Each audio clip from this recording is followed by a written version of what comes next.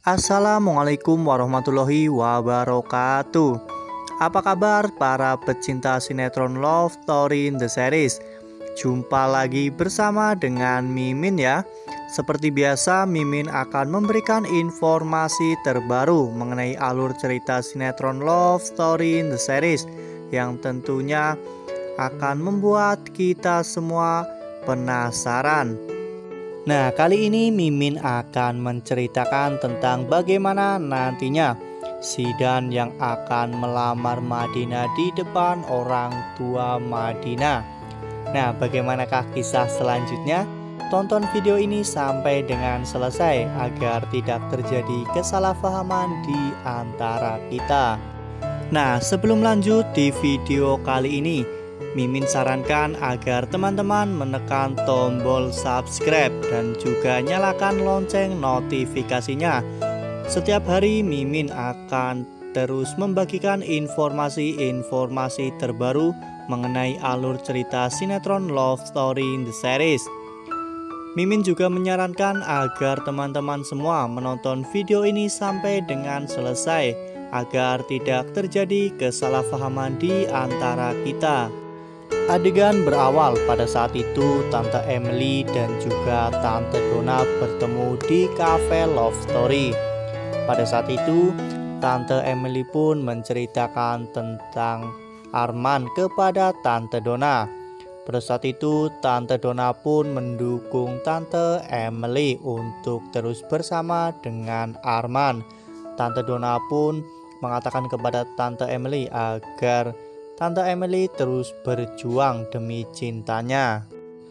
Lalu kemudian pada saat itu Tante Emily pun menanyakan kepada Tante Donna mengapa Tante Donna mengajak Tante Emily bertemu di cafe Love Story. Pada saat itu, Tante Donna pun mengatakan jika dirinya ingin melihat kedekatan Madina bersama dengan Sidan. Tak lama setelah itu, Madina pun datang dan bergabung kepada Tante Emily dan juga Tante Donna. Pada saat itu, Tante Donna pun memesan dua kopi latasan. Namun, pada saat Madina sedang membuat kopi tersebut, ternyata Tante Emily pun memutuskan untuk pergi. Lalu kemudian pada saat Tante Emily pergi, Madina pun datang ke meja Tante Dona untuk mengantarkan kopi. Ya, namun pada saat itu ternyata Tante Emily sudah pergi. Tante Dona pun meminta Madina untuk duduk menemaninya minum kopi. Pada saat itu, Madina pun terlihat sangat sedih ya kawan-kawan. Madina terlihat sangat galau. Lalu Tante Dona pun mengatakan kepada Madinah bahwa dirinya tadi pagi ke rumah Sidan dan bertanya kepada Sidan siapakah wanita yang sedang bertaaruf dengannya. Pada saat itu, Madinah pun mengatakan kepada Tante Dona bahwa dirinya sangat malu apabila Sidan mengetahui jika Madinah mencari informasi tentang hal itu. Namun pada saat itu tiba-tiba Sidan berada di sebelah Tante Dona. Sidan pun mengatakan bahwa Madina dan Tante Dona pasti sedang membicarakannya. Pada saat itu, Tante Dona pun langsung mengatakan kepada Sidan dan bertanya dengan siapa Sidan sedang bertaaruf. Namun pada saat itu Sidan pun tidak mau memberitahukan Zidan hanya menjawab rahasia. Lalu kemudian Tante Donna pun berpamitan untuk meninggalkan cafe Love Story. Pada saat itu, kopi yang ternyata belum sempat diminum oleh Tante Donna dan juga Tante Emily. Tante Donna pun menyuruh Zidan dan Madina untuk menghabiskan kopi tersebut.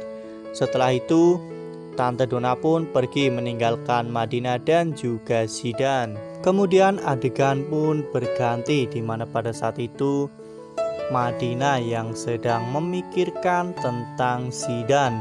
Ya, pada saat itu Madinah sedang sendirian memikirkan tentang Sidan dan juga calon istrinya itu. Ternyata Madinah selama ini masih salah paham dengan Sidan ya kawan-kawan. Tiba-tiba Tante Dona pun menelpon Madinah. Tante Dona memberitahukan kepada Madinah bahwa video iklan yang dibintangi oleh Sidan dan juga Madinah sudah tayang. Pada saat itu, Tante Dona pun mengirimkan video itu kepada Madina. Lalu kemudian pada saat Madina sedang menonton, tiba-tiba Sidan pun juga ikut menonton di belakang Madina. Pada saat itu, Sidan mengatakan seandainya saja itu terjadi di dunia nyata. Ya pada saat itu Madinah pun langsung terkejut karena Sidan berada di belakangnya. Lalu Madinah pun menanyakan apa maksud dari perkataan Sidan. Ya, Sidan mengatakan seandainya video tersebut itu terjadi di dunia nyata, bukan hanya sekedar iklan.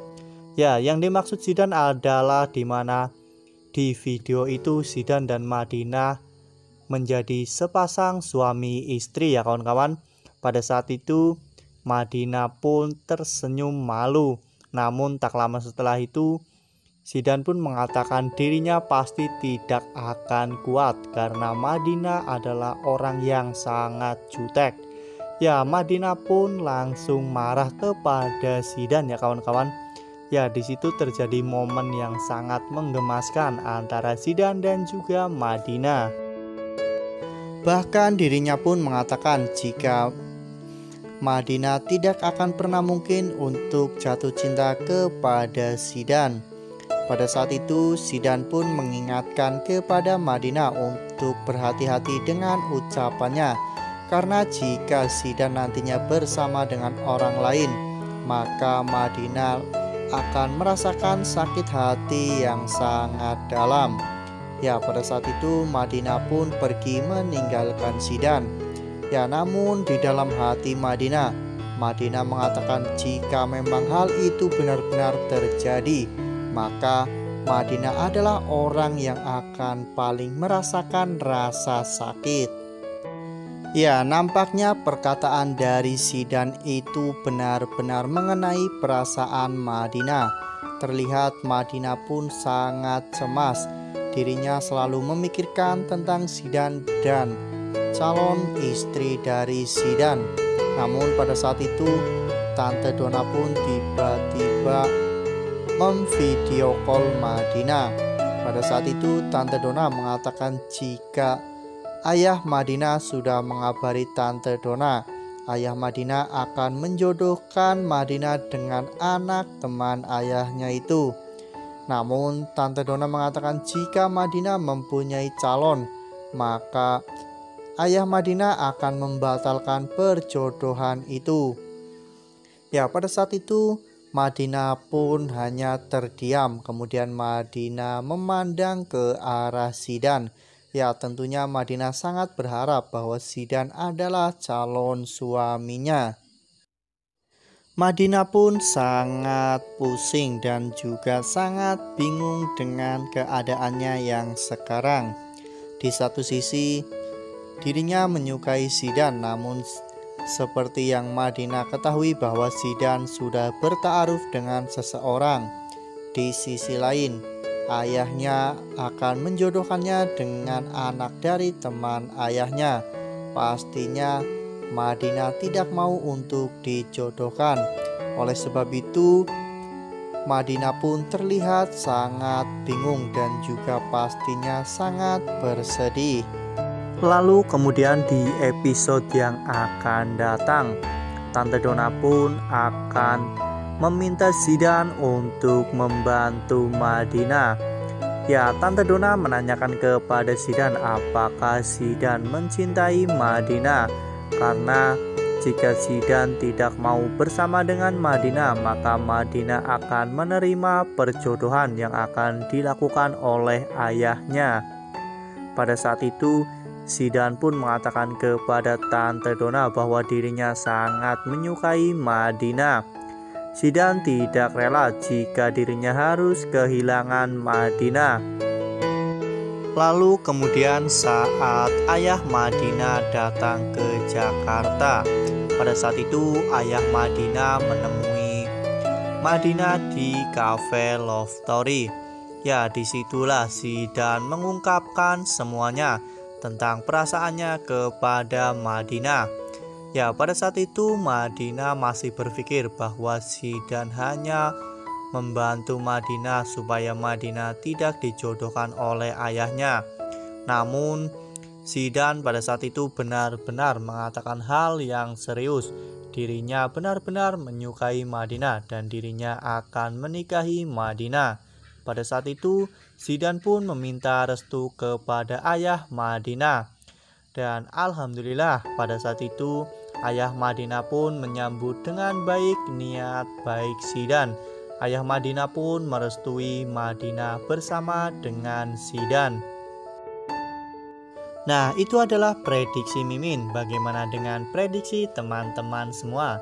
Apakah kali ini prediksi Mimin sama dengan prediksi teman-teman semua? Jika memang teman-teman mempunyai prediksi yang berbeda, tuliskan di kolom komentar. Nah, Mimin rasa cukup sampai di sini. Mimin memberikan informasi seputar alur cerita sinetron Love Story in the Series. Terima kasih untuk teman-teman yang sudah menonton video ini sampai dengan selesai. Podcast jangan kendor. Sekalipun jangan pernah abai karena pandemi belum usai. Jangan sia-siakan usaha yang telah kita lakukan bersama tetap patuhi protokol kesehatan dengan 3M yaitu memakai masker, mencuci tangan dengan sabun, dan menghindari kerumunan. Wassalamualaikum warahmatullahi wabarakatuh.